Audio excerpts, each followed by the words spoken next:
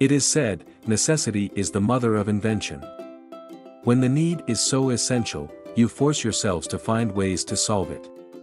One of the most urgent needs of the time is the way to deal with air pollution. Pollution is a deadly concern killing three times as many people in a year as HIV, AIDS tuberculosis and malaria combined. To combat this problem, scientists in Serbia developed an innovative tool to improve air quality, that is, the liquid tree. What is liquid tree?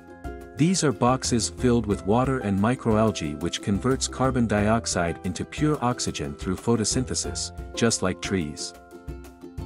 What are the benefits? 1. It uses lesser space than tree, 2. It removes the same carbon as two 10-year trees, 3. They are more than just a solution to air pollution, they can be used as benches and street lamps, as they also generate electricity. Do you mean to say they are alternative to natural trees? No.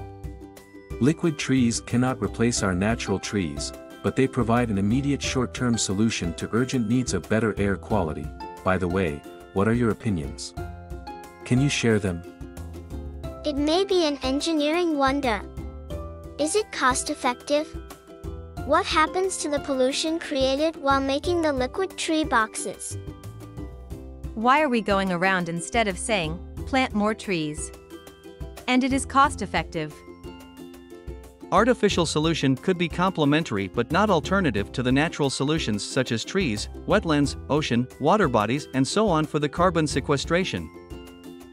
A good idea, but not the alternative.